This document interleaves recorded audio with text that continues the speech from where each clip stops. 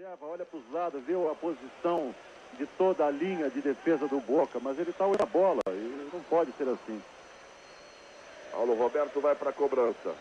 Muito próxima. E é um muro, né? Cinco homens na barreira. O juiz não teve moral de botar a barreira mais para trás. E o Paulo Roberto bateu na bola na trave, é gol! É! Gol!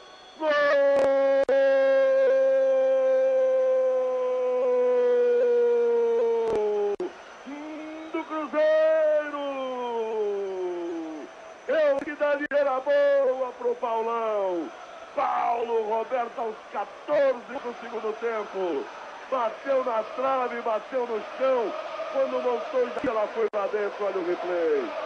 Mesmo com a barreira próxima. Um no ângulo esquerdo. O Montoya foi, ela bateu na trave, ferro. Bateu no chão lá dentro.